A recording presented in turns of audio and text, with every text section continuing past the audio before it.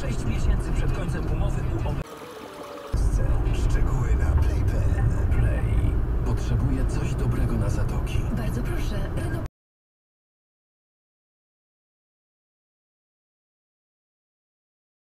Sejmowa wycofała się ale komisja skargi nie wycofała, uznając, że ustawa łamie unijne prawo, naruszając zasadę niezawisłości sędziów. Orzeczenia można się spodziewać w maju. Szczegóły w relacjach dyplomackich. Pełnomocnik polskiego rządu Bogusław Majczyna zaapelował podczas rozprawy o niestosowanie podwójnych standardów. Nie chcemy być chłopcem do bicia, mówił. I zwracał uwagę, że podobne rozwiązania do tych zakwestionowanych przez komisję istnieją w unijnych krajach i w Trybunale Sprawiedliwości, w którym o przedłużeniu kadencji sędziów decydują rządy unijnych krajów. Postanowił która wskazuje na to, żeby wymagania dotyczące niezawisłości stosować jednak Stosowanych przez komisję istnieją w unijnych krajach i w Trybunale Sprawiedliwości, w którym o przedłużeniu kadencji sędziów decydują rządy unijnych krajów.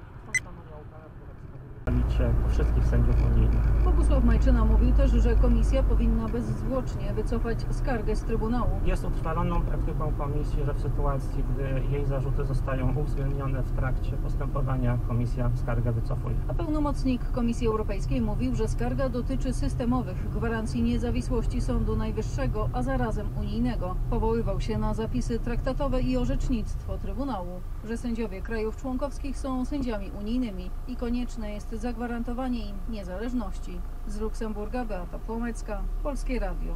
Władze małopolskie chcą szybciej alarmować mieszkańców o smogu. Poziom, przy którym mieszkańcy dowiadywaliby się o złej jakości powietrza, ma zostać obniżony trzykrotnie. Wicemarszałek województwa małopolskiego Tomasz Uranowicz tłumaczy, że dziś o zagrożeniu skutkami smogu